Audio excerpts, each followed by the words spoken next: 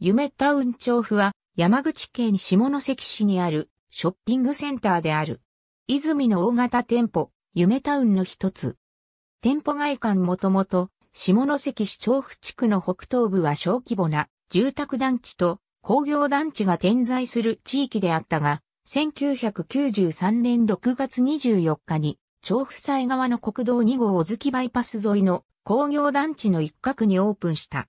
夢タウン形式としては山口県最初の店舗であり、開店当初は最西端の夢タウンであった。夢タウン調布の不動産取得及び運営会社として1984年3月、下関市に調布商業開発株式会社が設立されていた。現在は泉直営店である。1993年の開店以来、敷地内での新規店舗設置を行ってきた。2002年に品揃えの強化と設備の充実を図り、本館国道側の増築工事を進め、フードコートや屋上駐車場などを新設。9月1日リニューアルオープンした。下関市の商業施設では、シーモール下関、夢シティに次ぐ規模である。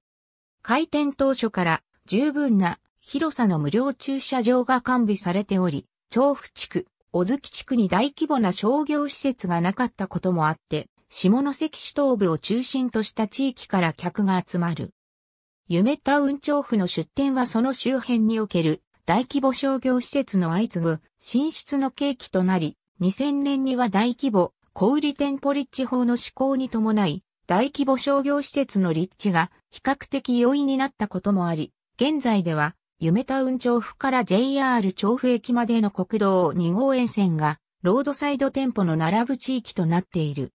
夢タウンの初代ロゴが廃止されてからもしばらくは看板に初代のロゴを使用していたが2005年に外壁塗装が変更された際、現在のものに差し替えられた。その後、2010年に再び外壁塗装が変更された。エディオン調布店。ありがとうございます。